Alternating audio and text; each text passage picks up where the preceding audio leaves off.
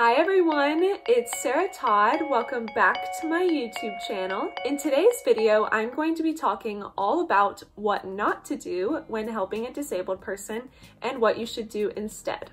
The first thing that you should not do when helping a disabled person is don't continue offering to help the disabled person after they've told you that they don't need help.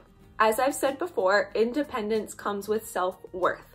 So it's really crucial that we make sure that us disabled people can be as independent as possible. And often there are some things that we do struggle to do on our own, so we do need people to help us with those things. So when there is something that we can do completely on our own, it makes us so happy when we can do something without help when we're constantly needing to ask other people for help all the time.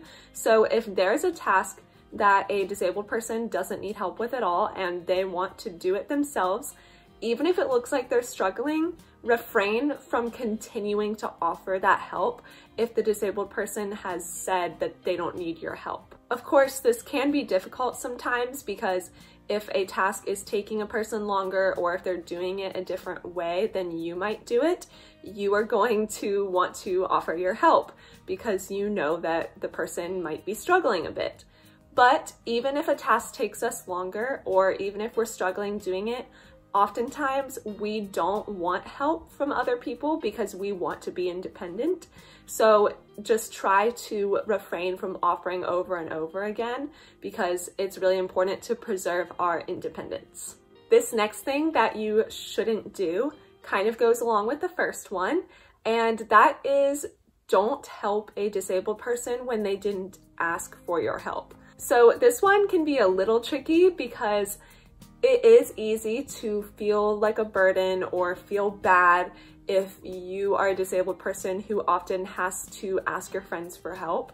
And so sometimes it can be nice if you are with your friend and they know that you always need help with opening a certain food item and they just go ahead and do it for you because they know that you're going to ask them anyway and then it saves you the guilt that you might feel from having to ask them for help because then they've just done it for you without you needing to ask.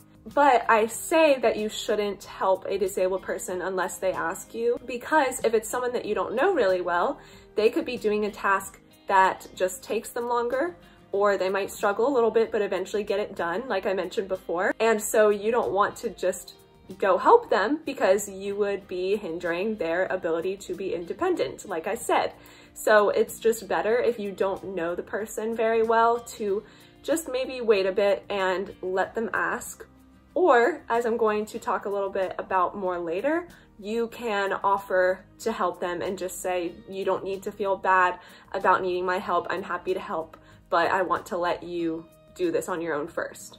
And then that kind of opens up the conversation. It gives the disabled person a chance to ask for help in an environment that feels a little more comfortable since now they know that you're open to helping them, but it also gives them the chance to be independent and try the task on their own. So all of that to say, this one is a tricky one, but I think you can kind of learn what's best for you and that particular friendship or relationship or whatever it might be if you know the person better, you're eventually going to kind of learn what things they might need help with and what things they might not need help with. So then you'll better know what you should just go ahead and do for them or what they can do on their own. But if it's a new friend or just a colleague or an acquaintance, then I would advise you to not just go ahead and help the person and kind of give them a chance first to ask or maybe go ahead and say, what I said earlier about just telling them that you are happy to help them if they need help, but you also don't want to intrude. The third thing that you should not do when helping a disabled person is acting as if you're some kind of savior or super great person for helping a disabled person. You're not a savior or any super great person for helping a disabled person. You're just being a kind human being if you're someone who would refuse to help a disabled person when they ask you for help, that is really bad and awful and mean. But if you are someone who does help a disabled person when they ask for it, or you know they need your help, you should not get praised for that. we disabled people are people and we deserve to be treated like people. So there's no reason to have this weird praise going on for non-disabled people that help disabled people. It's just weird and it's condescending and it perpetuates the ableist idea that we disabled people are inferior and we're not human beings like everyone else. And yeah, this is just a bad one. You're sweet for helping a disabled person, but that's something you should do if they asked you for your help or if you know they need help with this task. So there shouldn't be any praise there. So don't act as if you're a savior or some super great person for helping a disabled person. That's really ableist. the fourth thing that you should not do when helping a disabled person kind of goes along with the first two, but it's just on a larger scale. So with those, I talked about how it's not a good idea to just go ahead and help a disabled person just because you see them struggling to do something or you notice it's taking them a longer time to do something. But to add on to that, I also want to mention that you should not just go ahead and do literally everything for a disabled person just because they're disabled. If you just go ahead and complete every single task for a disabled person, you're taking away their independence completely. And there may be some things that a disabled person can do even if they need a lot of help with some things and you don't want to take that away. So like for me, I might need help opening certain foods, but I might not need help with opening other foods. And my family kind of knows which foods I need help opening and which foods I don't need help opening. And it would really bother me if they just went ahead and opened a food item for me that they know I can open because then I don't have that chance to be independent. So I just advise non-disabled people who are helping disabled people to try not to just go ahead and do every little thing for the disabled person. It's condescending, it insinuates that you don't think they're capable of doing things, and it takes away their independence. So just not a good idea at all. I've had this happen to me and I dislike when it happens. I do always try to remember that the person is coming from a good place and they really are just trying to be helpful and that's so sweet and it's really nice that they want to be helpful, but it does kind of cause some problems there. So it's best to just be respectful in that area and try not to help the disabled person with literally everything because you want to respect that they will want as much independence as possible. Okay, the fifth and final thing that you should not do when helping disabled people is don't make them feel guilty for asking for or needing your help. It can be really difficult needing to ask people for help or just not even having to ask and knowing that your friend knows you always need help with opening some certain food item and they do it for you without having to ask. It can still make you feel guilty because people are constantly doing things for you. Even if these tasks are small and it's not a big deal at all to help with them, it can make us feel guilty for needing help. So you don't want to add on to that by really purposely making us feel guilty for asking for or needing your help. This is a pretty rare one for me, I've never really had anyone intentionally make me feel guilty for asking for or needing help, but it can happen. An example of this could be if I need help brushing my hair and I ask a friend and they sigh or they are like, oh, okay, or something like that. It can just kind of make you feel a little more guilty. And you don't have to act super enthusiastic or anything or like, oh my gosh, of course, I'll brush your hair.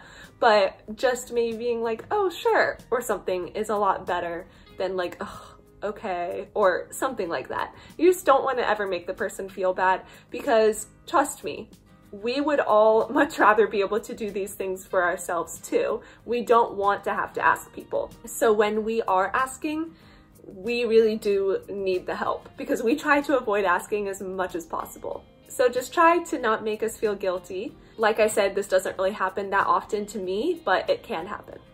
All right, now that I've covered the five things that you shouldn't do when helping disabled people, I'm going to give you all a little bit of advice on things that you should do when helping disabled people.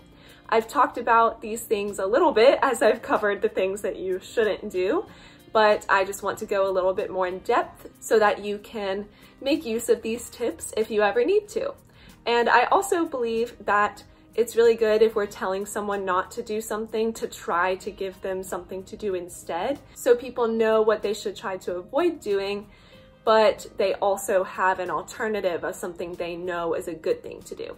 The first thing is something I've mentioned throughout this video, which is if you aren't really friends with a disabled person yet, maybe you don't know them very well, they're just an acquaintance, a colleague, someone in your class, instead of just jumping right in there and helping the disabled person with a task, if you notice they're struggling or if you notice it's taking them a longer time to do something, you could just say something along the lines of, I just want to let you know that I'm open to helping you and you don't need to feel bad if you need help, but I also want to give you your independence and let you do things on your own if that's what you want to do. But I just wanted to let you know I'm open to helping you and it wouldn't bother me at all. Or just something along those lines. These conversations can be really tricky because every relationship, friendship is different, and every disabled person has their own preferences for what they prefer when it comes to asking for and needing help. So it's always difficult, but I feel like this is a good solution for a lot of these situations. I feel like for me personally, I would really appreciate it if this is how an acquaintance of mine handled something like this. So if I were in this situation and I were trying to open a food package that I normally can open and it's just taking me a bit and that's how it always is and I'm used to that, but my acquaintance doesn't realize that, I think I would really love it if they said something along those lines of just being like, hey, like, don't feel bad if you need to ask me for help, but I want to respect your independence and totally like do your own thing, but I just want to let you know if you need my help, it won't bother me and you can totally ask. I think I would really like that, but some other disabled people might not like that. So you never really know. And that's what makes these situations just so difficult. But I think that could be a good solution. Now, the best thing that I think someone could do when helping a disabled person is something that one of my best friends did when I first started getting to know her at college last year. She's now like literally one of my best friends and this shocked me. I was so happy that she did this. We'd gotten to know each other a bit. She knew that I have a disability and all of that.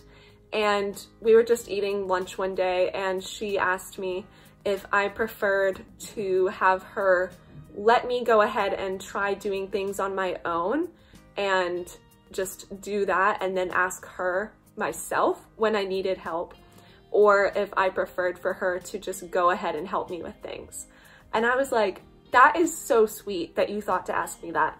And I think that is a great thing for a non-disabled person to ask their disabled friend. You kind of want to be at the point in the friendship or the relationship or whatever it might be where you have gotten to know each other decently well though, because a question like that kind of insinuates that you know you're going to be spending a good amount of time with this person and this is just a helpful thing for you to know so that you can respect the disabled person's wishes. So this would be kind of an odd question to ask someone you're only gonna see like once in your life. So I think this is something better to ask someone that you are starting to get to know a little bit better and know you'll spend a good amount of time with, which was exactly our situation. She asked it like the perfect time in our friendship development and I so appreciated that. And I told her that for me, it's a little bit tricky. I ended up just kind of saying that there are some things that I know I need help with and I would love it if once she got to know me better, if she just helped me with those things, if she didn't mind helping me and then I wouldn't have to ask. But I also told her that there are some things that I do want to try doing on my own and I might not know if I can do them on my own or not. So I would prefer for her to wait until I asked her to help me. And that there are also going to be some times where there are some things I typically can do by myself and for some reason that one day I couldn't. And so I have to ask her for help with those things. So I told her it could be a little bit tricky with me, but that's kind of what I explained to her. And that's worked really well for us. She waits until I ask her for help for many things, but if it's something she knows I need help with, she just kind of goes ahead and does that for me. And it's great because I don't have to feel like guilty for asking her for help so much. And it just demonstrates how well she knows me and that she is respecting my independence. And I love that. So that was literally amazing of her to ask me that question. I think more non-disabled people should start doing that. It just made me feel really respected and like she really cared about me and she does. So I really loved that she did that. So yeah, those are five things that you should not do when helping a disabled person. And then two suggestions for what you could do when helping a disabled person. I hope that this was helpful for you all. I think having these conversations is so important.